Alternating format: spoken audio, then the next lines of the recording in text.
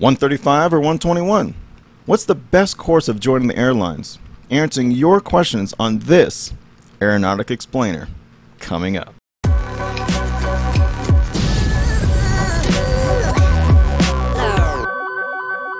Hey aviators and air nerds, welcome back to my channel. If you're new here, I'm Ty Jones. Uh, this video actually started with me giving honest reviews, experiences, training tips that'll help you aviate, navigate, and communicate. And I'm still doing that today.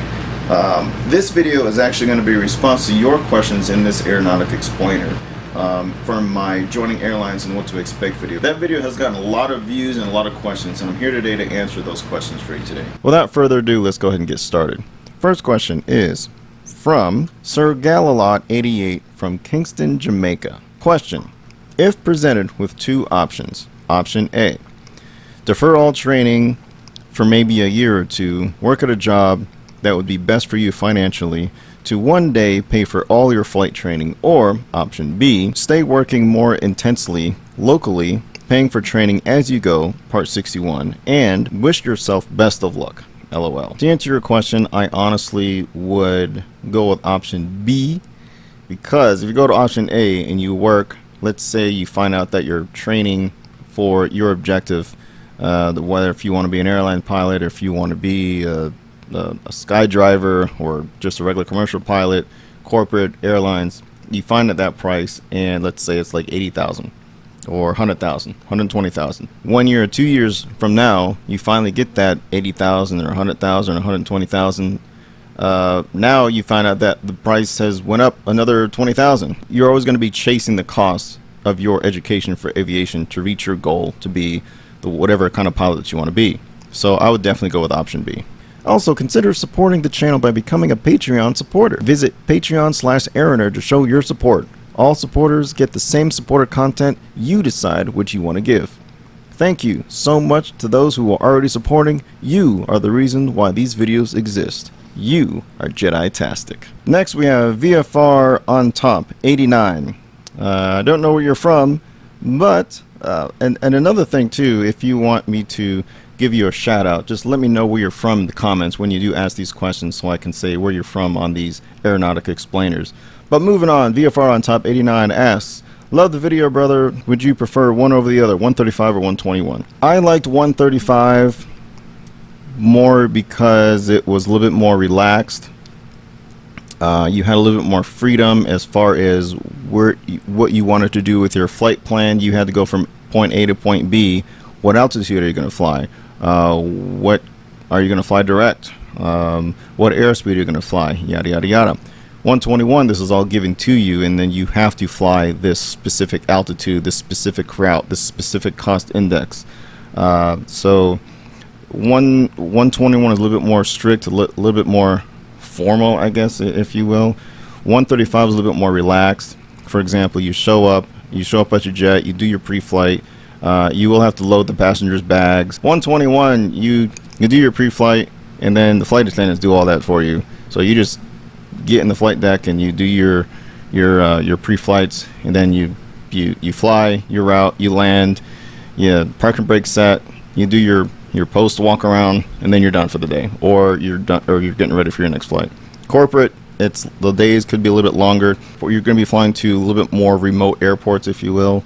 For example, um, I don't think an airline or 121 will go into like Key Largo or some of these uh, some of these really small landing strips in the Bahamas. Airlines a little bit more professional, in my opinion. You have your benefits, you have your medical, you have 401k, you have retirement plans, you have all these benefits of a full-time job. Corporate jobs do have that same thing. However, it, it could be hit or miss uh, depending on what corporate job, uh, corporate company that you work for. If you go to something like NetJets, I think they're more like a 121 base, the way how they do their operations and everything like that. I believe you, I believe they send you to uh, flight safety to do your training and all your all your recurrence, and then you get back on the line, and it's literally like a 121 uh, with NetJets. Um, so these corporate schedules can be like seven on, six off. Some can be four on, three off. Some can be two weeks on, seven off. So it all depends. Um, what I would do is I would just research whatever company, corporate company you're trying to get into. Um, there's plenty of information online. Just do your research. Another thing I forgot to mention about the corporate world is let's say you are you have your own private jet and you want to make money off your private jet. So what you'll end up doing is you may lease your private jet to a business. Uh, what that business will do is they will charter your private jet for you. It's kind of like how some of these corporate uh, corporate companies work. They'll get they'll hire pilots for your jet. Obviously, they'll go through you. Like, hey, this pilot has so many man hours. This has this pilot has this much experience. Would you like to hire this pilot or these many pilots for your aircraft? And if you do, we we can use your aircraft for so many many flights per per month or per per week. And of course, if you agree, yay, then you make money. You have your jet, you have your company manag managing your jet, and you have your pilots. One of your pilots is sick. Now what do you do? Well, there is a way that this company can actually reach out to other pilots that are that already have uh, type ratings for the jet that you have for, for your private jet. So what they'll do is they'll reach out to these uh, to these other pilots. There's like there's like a whole pool of pilots that they can reach out from and ask like, hey, we're we're needing a pilot next week from the from this state to this state. We're flying from here to here to here. Are you would you be able to do that? We will pay you you know fifteen hundred dollars per day or two thousand per day, depending on what your type rating is and your experience.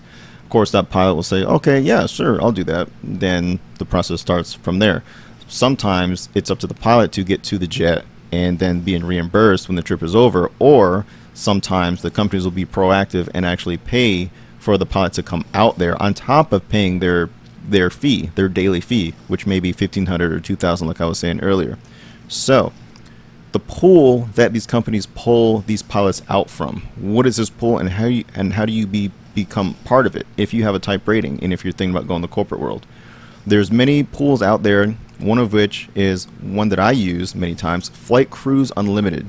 If you go to this website, Flight Crews Unlimited, um, which is right here, and there's another one um, that I'm about to show you here in a minute. But here you can sign up, you can put in your hours in here, and what they essentially do is once you put your information in here, they will call you uh, if they have any availabilities. Let's say you have, you know, uh, Gulfstream, uh, a type or something like that, or a citation uh, global, then they can potentially you can get potentially get a call and be like, hey, uh, we have a trip for you. Would you like to fly? And we'll pay you so many amount of money.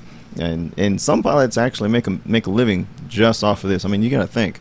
I mean, let's say you have a have a four day trip for, uh, you know, two thousand two thousand dollars an hour. Or, I'm sorry, two thousand dollars a day. That's eight grand right there that you that you done made already. So uh, another one that is Crew Blast. Crew Blast is another one. This one's a little bit more easier. This is an app that you actually download on your phone, and they literally just text you, and then you read the text and said, "Hey, we have a trip for you for this and that, or would you be able to take this for this much for, for this rate?" And of course, you can either hit accept or decline right there on your phone. So this is another really good app to have if you're thinking about going into the corporate world. It's super easy to register. You just register, you submit them your your medical, your flight hours, uh, and that's literally it. There's hardly an interview at all for this. Uh, the, all the interview is is they will they will text you say, hey, are you available? Can you fly on this day that day? Yes. Okay, cool. You're hired. That's literally the extent of the interview. So yeah, check out Crew Blast and Flight Crews Unlimited. That's um, very good resource to check out. And there's a lots more too, but these are the two that I've used personally. So check them out. Next question: Skyflight 28393. Don't know where they're from, but they ask. Hi, is it easy to move from Part 135 to 121 airlines?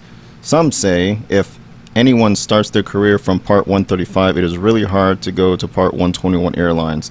Uh, I really don't think that's the truth. Um, actually, 121 will actually be glad to pick up if you have 135 experience. That means you have jet time. Most likely, you have jet turbine time.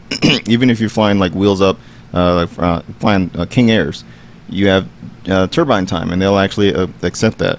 Uh, they you'll be a better candidate if you already have previous any kind of jet time and then going into airlines versus someone that has absolutely no jet time experience and just flown from uh, Lycoming engines, doesn't have ATP, and then trying to get the, into the airlines versus you already have your ATP, you already have jet times from for 135 or corporate. So yes, you're going to be a way better candidate. However, even not to steer that away from um, from Part 91 going straight into 121, uh, in other words, going to general aviation straight to uh, airlines, you, they will pick if if all you need is your hours, you can get a first class medical. Um, they will definitely accept you. Um, so my recommendation, if you want, if you're trying to go into the airlines, just go to the website Airline Apps, and I believe I'm not I'm not sure how much it is per per year.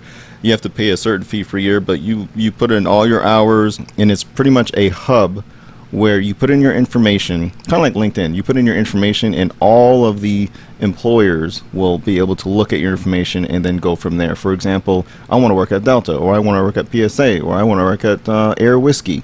You you put in all your hours in there, and then you can put on there, hey, I want to work for this airline.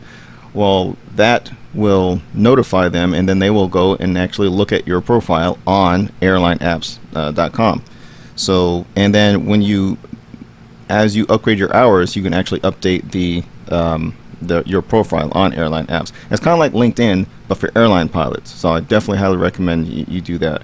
So, to answer your question, the only way I can imagine it going from imagine a person going from 121 to 135 is when they reach the retirement age, which is 65. Once you reach 65 in the airline world, you're going to be pretty much forced to retirement unless they extended up to 67 from what I'm hearing they're trying to do.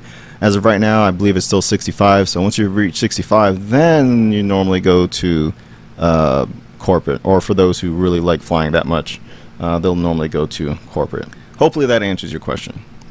Next question. All About Auto 31 from New York City. Hey, I just started my private pilot training and I had a slight question. I know New York City is a super busy airspace in a bunch of massive airports. From your experience in regional or others, do you think there's a good chance of getting New York City based like JFK or LaGuardia, or do they give a low seniority to FOs to similar bases with less traffic? To answer your question, what I would do, I did mention about this website, and I'll go on here right now, uh, airlinepilotcentral.com. So if you go on here, you go to regionals, right over here, and I believe Endeavor um, has a junior base for LaGuardia. So if I go here to Endeavor Air and you scroll down to domiciles, you see right here they got New York City, they got LaGuardia, JFK, and more importantly, if you go down here, junior bases. Junior bases, New York City, JFK, and LaGuardia, and Cincinnati currently have new hire. Currently, new hire pilots have the possibility of being based here or Cincinnati. So uh, to answer your question, just look on here. I can't stress this enough. Um, Airline Pilot Central, there's so much, there's a plethora of, of great um, knowledge there to go find out that information. So yes, if you're wanting to go to no, those bases, definitely, I would definitely consider Endeavor. Um, and as far as them trying to say, well, you're just a junior FO, you don't have you don't have that much experience, so we're going to put you in a less busy airspace. That is absolutely not the case. Um, I know there's some bases that your first base will be DCA or Philly or Charlotte. I mean, these are some pretty busy, busy, um, busy airspaces. Endeavor, case in point, uh, their junior bases is LaGuardia, uh, JFK, Airline Pilot Central. Check that website out. Miss Mr. Six String 2K from New Jersey asks, "How did you find your way to corporate? What requirements do they have?" I am 45, and he asked another. This is a, on another video. He asked, uh, "I am 45, working for working on my IFR, and corporate is the only real landing spot for me. I would love to hear more about corporate.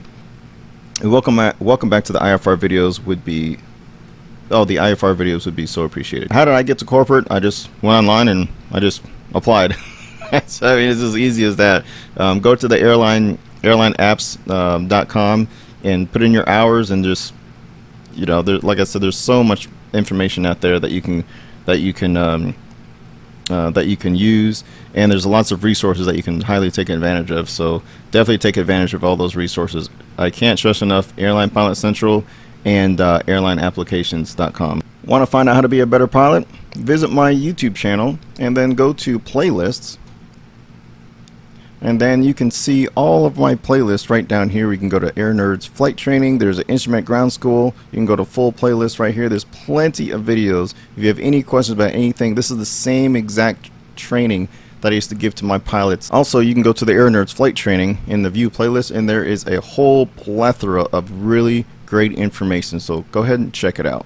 Video World 1951. Um, don't know where you're from, but they ask, is Army a better option than flight school? Well, I'll tell you what, I'm, I'm retired Air Force myself, and I will say that if you have prior flight experience in the military in general, not just Army or Navy or Air Force, if you have prior, prior jet time experience, uh, or any kind of flight time experience in the military, you're going to be a way better candidate than probably somebody that has a lot more hours, I guess. Um, they really like military pilots. So, uh, yes, I, if you have the chance to, I would definitely go Army. Even if you're flying helicopters, you have flight experience. So, experience is better than no experience when it comes to jet time and stuff like that. So, um, I would definitely, if you're thinking about going to Army, go Army uh, I I don't know what the enlistments is now. Is it two years now, four years now? Do whatever uh, enlistment you have. Um, I definitely recommend it. Uh, if I could do it again, I would do it over and over again. Um, I loved my time in the military, so definitely, definitely do go to the, go toward the the mil military route. And on top of that, all your flight training is going to be paid for by the government, so or by us taxpayers. So anyway. Okay, and this last question from NQ Mitch. Um, I do not know where NQ Mitch is from, but they ask, just subs, thank you for this video. I am an inspiring airline pilot, 26 years old and African American. I am currently looking for grants and scholarships for African Americans like myself looking to join the aviation industry. In your next video, could you maybe talk about some programs that somebody like me could benefit from? Well, I, I will say about the like the Af African American part. Uh, I'm not sure. I'm, i know you mentioned it twice in here, but at, it this is the world where I mean, if you're African American, if you're Asian American, if you're Chinese American, Russian American, I mean, it doesn't. There's benefits. I mean, there's there's programs out there for every single person. If you are if you are interested in joining the aviation industry, you're going to join the aviation industry no matter what color you are, wherever where you're from. Um, if you're you know, if you're male, female, it, it doesn't matter. I mean, so don't let that be a limiting factor, or actually, don't even consider that to be a factor at all. Um, the one thing, I mean, we're now in a day and age where, you know, I mean, you can be anybody and do anything. You literally have the power to move mountains out of your way to get what you want. Literally. If you want it, it's up to you to go get it. Um, and where you're from or, or, anything like that has nothing to do with how you're going to get there.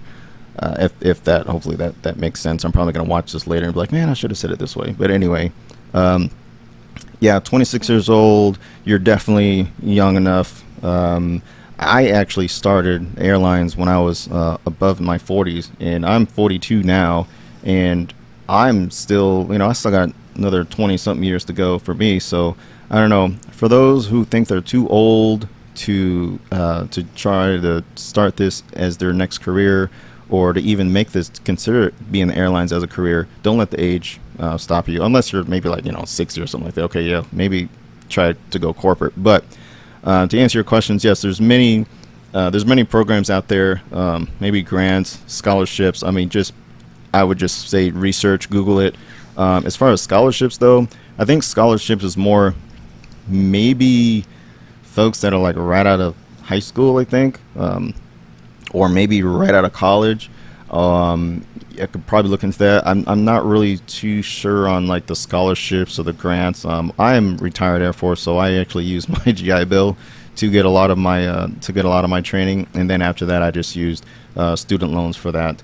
Um, so that's that's my uh, that's my two cents on that but yeah, don't don't let where you're from or anything like that be any kind of uh, a detrimental factor or any kind of any kind of factor at all. Um, it's not it's not a thing. Um, yeah, just just go for it and um, and uh, next thing you know, you'll be flying a jet or flying a cargo or flying corporate or flying a spaceship or who knows. It's up to you what you want to do, and I'd recommend you just go up there and just just do it. Thanks again for the questions comments, comment more below. If you don't comment, I can't give you any good information for free. I'm Ty Jones. It's time to fly.